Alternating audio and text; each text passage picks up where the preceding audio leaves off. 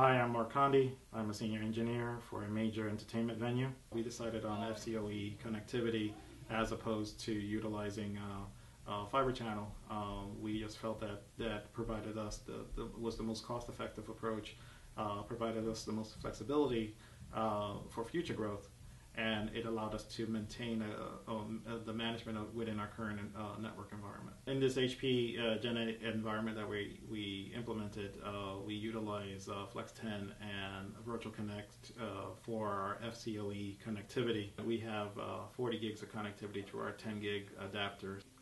We cut this the, the bandwidth in half, and we only use 20 gigs in production. The other 20 gigs you use for our high availability and redundancy sake. It increased our, our bandwidth uh, immensely as opposed to what we had prior to this.